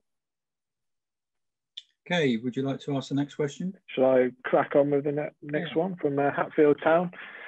Um, say, with many grassroots clubs folding due to COVID 19, how will the FA support those left that are struggling financially? With businesses not in a position to support grassroots football clubs with sponsorship, how will non league clubs survive without support from the FA? Um, so I think looking at grassroots clubs, yeah, it's, it's obviously different from the, the semi-professionals and professional levels um, further up the, the non-league pyramid, um, where obviously at steps three and four, the, the grant money is coming from the government. Um, and, and at steps one and two have had, had that support as well. Um, grassroots is, is, I think, historically, Tony, an issue that has rumbled on for a while and the I think the argument has always been that with the money that comes in from the um, TV deals at, in the top flight in the Premier League, it's why that why not enough of that money is is put back down into the lower reaches of the game and, and grassroots. And I know that the the FA and Football Foundation etc. have really pushed um, you know grassroots funding and things like that over the years, but there's certainly more that can be done, I think, and it's perhaps um, building or creating facilities that will last for a while. Um, things like 3G pitches Um, you know, where in other countries they're very much ahead of the game, and and there's 3G pitches everywhere and, and can be used all day and night um, by local communities and, and and youngsters to to play on those. Um, I think that I think for me that's the big thing. 3G pitches, getting those down in, in communities and areas and counties, having at least one of those available for, for everyone to use. Um, you know, I know 3G pitches get a lot of stick um, towards the towards the higher levels of, of non-league, but I think at grassroots uh, level, they're a fantastic facility to use. Um, you know, park pitches these days, you know, from my own experiences playing on a Sunday morning still, you know, they aren't in the best of uh, condition. Um, you know, likewise goal nets and, and things like that. Um, so there's still still a lot more that can be done at the grassroots level. Um, I still hold out hope that you know the FA are still working towards putting a lot more in, into grassroots. Um, you know, because I, I think fundamentally grassroots is the lifeblood of the game, I suppose. You know, every professional player that we see, every non-league player will have started out in an under 12s team somewhere in, on their local park and you know wherever that may be. Um, so we need we need grassroots standards to be high. Um, and by putting in better facilities and having more funding into grassroots, it will only benefit the game across the country. I think for me, Tony. What about you? Yeah, you made some great points again. And um, firstly, the, the, question is worded with many grassroots clubs folding due to COVID 19. Well, I don't think there have been that many. There've only been, I'd say, less than 10 clubs have folded, um, certainly in, in, in the major part of the non league pyramid. Um, and I'm really surprised that hundreds and hundreds of clubs, senior non league clubs, haven't gone bust. And I think it's only because of the efforts of the volunteers that have kept everything going because there's been no income coming in through the turnstiles, no income through the bar facilities. Sponsors have, have cut back, they haven't got the money. And yet clubs still have to pay their rent, their utility bills and so on. They still have to look after the pitches and so on. And it, has been really difficult. And I'm really surprised, um, but very, very pleased that, that hundreds of senior non-league clubs haven't gone bust. And down into grassroots level, I've only heard of a few that have folded. So the situation could be a lot worse, but it's because the volunteers have kept things going. Now, the other point you made there about 3G pitches is spot on. Um, for a community football club, the installation of a 3G pitch, I think, is essential. Uh, it costs what four, or five hundred thousand pounds, but the money is available from the Football Foundation. As you said, the Football Foundation are really big on supplying and rolling out these 3G pitches. And I think as a non-league club, firstly, from a match day point of view, if you've got a 3G pitch, unless there is a really extreme weather condition, your match is going to be on. So you know that you're going to get that match day income. But then you can also have all your community teams based at the same place, at the same venue. You can have all their training sessions. You can have youth team games taking place on a Sunday morning at the main ground, Sunday afternoon, the women's teams playing there, all the training taking place at the main ground. You can also run an academy there based at the ground uh, with uh, an association with a local college who will provide education for young footballers who then train and play their matches maybe in the middle of a weekday afternoon on the main pitch. And then all of these people coming and going, visiting the, the main ground for their football and for their training sessions, their parents are there as well, using the bar facilities and so on. And I think it's a it's a money spinner and it, it really does help the future of non-league clubs, particularly if they want to be part of the community. Now, yes, you say that there is an argument against these 3G pitches because some people think it's an artificial standard of football. They think that the ball bounces erratically on these pitches, but that's not really the case anymore. It was in the with the first um, the first wave of uh, artificial pitches was in the 1980s, the early 1980s. Queens Park Rangers in 1981, uh, Luton in 1982, Preston and Oldham. They were the first four clubs in this country in the Football League in the early 1980s. They played on a surface which was called OmniTurf, And I saw all the games at Queen's Park Rangers. It was like, and I wouldn't have admitted it at the time as a supporter, but it was like playing on concrete.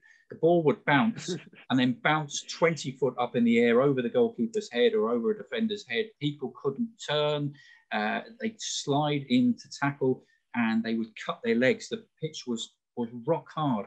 And in the end, slide tackles were, were ruled out. If you misplaced the pass, the ball would, would bounce on the surface and, and run out to play on the far side really, really fast out over the touchline. Um, QPR were able to play some good football on it, but visiting teams didn't like it. And in the end, those artificial pitches were outlawed by the Football League. Uh, in 1988, I think it was, QPR had to lift the pitch up and play it again on grass. So people remember that. But that's like comparing a mobile phone from the late 1980s with a mobile phone now. A mobile phone in the late 1980s was one of those big brick uh, things with a big sticking out of it, and you had to carry it around, and uh, it, you, couldn't fit it in your pocket. You look at a mobile phone now; it's like a mini computer.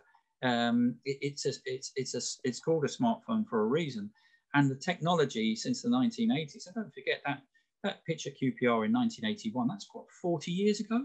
40 years ago, the technology has moved on, and now um, World Cup matches have been played um, on 3G pitches. I think England played out in Russia in an important game in the World Cup. Champions League games are played on artificial pitches. And that Champions League final between Chelsea and Manchester United was played on a on a 3G pitch. You know, if it's good enough for international football for the Champions League, it should be good enough for, for non-league. But people have long memories. They remember the early 1980s pitches, and, and they think the pitches now are like that. But they're not. They've got a, a soft, spongy surface now. The ball will bounce true. You can tackle. If you fall on it, uh, you won't hurt yourself.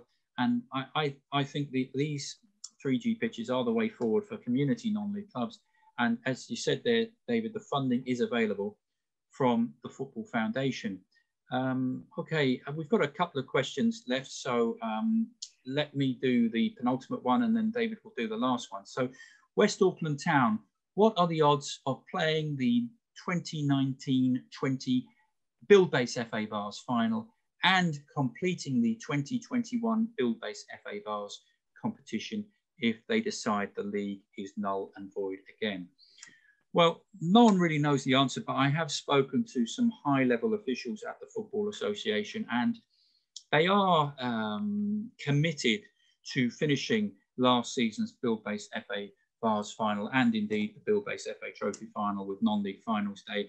It was going to take place, and, and David will confirm this, it was going to take place in the early part of this season, but then another lockdown came in and uh, they wanted to play it at Wembley and allow 10,000 people in, and, and then there was a lockdown and we couldn't let fans in, and then it was postponed once again.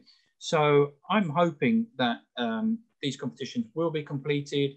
Uh, they will take place at um, Wembley Stadium, we might have to have a, a double non-league finals day. That would be a great occasion, wouldn't it? If you had, you'd have to start very, very early in the morning. The first final would have to be at maybe 10 o'clock, half past 10, then another one at lunchtime at one o'clock, then another one at about four o'clock, and then you'd have to have an evening final. If you're going to play four finals in the one day, uh, it would be an all-day jamboree at Wembley Stadium. But from what I can understand, um, I don't know what you've heard, David, but um, the FA are definitely committed to completing these two competitions. Yeah, that's that's certainly what they've maintained throughout this time. Um, yeah, to me, Tony, that it sounds like a pretty good idea to have, have those finals on the same day, providing um, you know the likes of of Concord, the likes of um, some of those teams in the FA Vase don't reach the final again. Otherwise, they they, they might have a, a little bit of a, problem there. Um, but no, I mean, hopefully they do, and hopefully those teams have their have their big day out at, Wembley. Um, you know, of course, if there's a crowd there, that that would make it uh, even better. But um, no, let, let's hope they do. And uh, yeah, I like your idea of having a having multiple finals on the same day. Although I'm not too sure how much the, the Wembley pitch maintenance crew would uh, be be fond of that one, Tony. But I'll, I'll leave you leave that for uh, for you to discuss with them. But um, no, hopefully we, we get that resolved. Um, should we move on to our last question, then, Tony? Yeah, Should I? Uh, I'll handle this one. Um, Paul says, "Is if there is no promotion or relegation, how does non-league propose to fill the gaps in the leagues, or will they remain? as is. Um, yeah, obviously difficult one to answer. Um, I think what is worth pointing out is, is the gaps in non-league at the moment. Obviously, the National League is currently running with, with 23 teams. Um, only one side was relegated last year.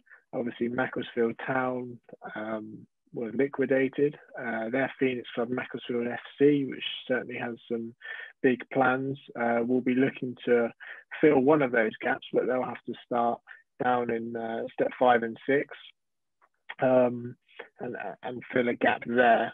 Um, but in terms of in terms of what they do elsewhere in the pyramid, yeah, it's a difficult one. Not knowing whether seasons are going to finish, uh, yeah, whether leagues are going to finish, what levels are going to finish. So, yeah, a difficult one, one to, to keep an eye on, but certainly a, another headache for the administrators if, if they needed another one to, to try and sort that one out. And further down, um, there are one or two vacancies um, at the, the, lower steps, uh, particularly, say, at step six. The, the leagues did try, um, one or two leagues did try to fill the vacancies. The Northwest Counties League for example, um, brought in the new Bury Football Club and um, FC Isle of Man. FC Isle of Man couldn't play any games in the end because of the travelling problems for away teams to travel to and from the Isle of Man and the Isle of Man players to travel to the mainland. So it was difficult. Um, I wouldn't like to see ambitious clubs. I mean, there are some ambitious clubs below step six who've got their facilities up to scratch over the last couple of years and they've installed floodlights and stands, and they haven't been able to move up the pyramid as yet. And uh, it's almost like everybody has been put on hold for it'll be two years now uh, or two seasons. Um, so it's very difficult, but but hopefully some of the ambitious clubs who want to come in at step six will be able to to fill those little vacancies that exist at the moment.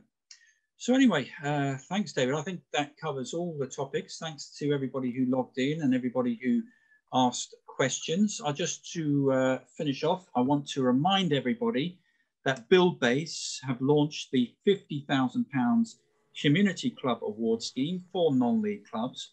There are two prizes of £25,000 worth of building materials available, one lot of £25,000 for a club in the Buildbase FA Trophy, and one lot of £25,000 for a club in the Buildbase FA Vase. You can apply now at buildbase.co.uk. The closing date is the 28th of March, and good luck.